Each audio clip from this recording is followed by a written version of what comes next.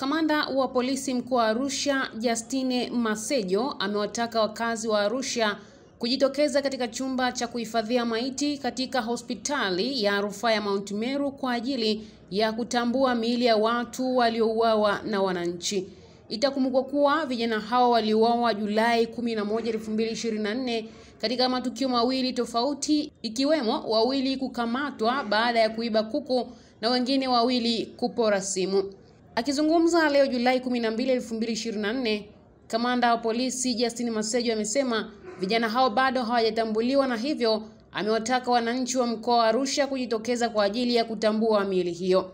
Vijana hao ni wenye umri kati ya miaka 22 hadi 26, wameuawa jana Julai 11, 2024 alfajiri, lakini hadi leo hakuna hata mmoja aliyetambuliwa. Hivyo nitumie nafasi hii kuwataka wananchi wa Arusha wajitokeze hapa chumba cha kuhifadhia maiti katika hospitali ya rufaa Mount Meru kwa ajili ya kutambua miili hiyo, amesema Masejo. Aidha, kamanda Masejo amewataka vijana kufuata maadili kwenye jamii na zaidi kutafuta kazi ya halali ili kufanya kuliko kujishughulisha na uhalifu hadi kusababisha matukio ya mauaji.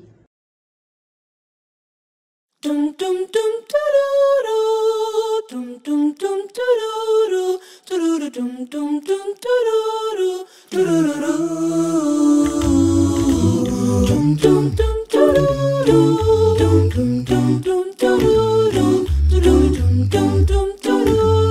tururu. The same qualities foundation tunakuletea msimu wa sita wa marathon na kusherekea miaka kumi tangu kuanzisha watoto wenye midomo wazi itakayofanyika jijini Arusha. Hatua moja, tabasamu moja, hatua moja, tabasamu moja, hatua moja, tabasamu moja.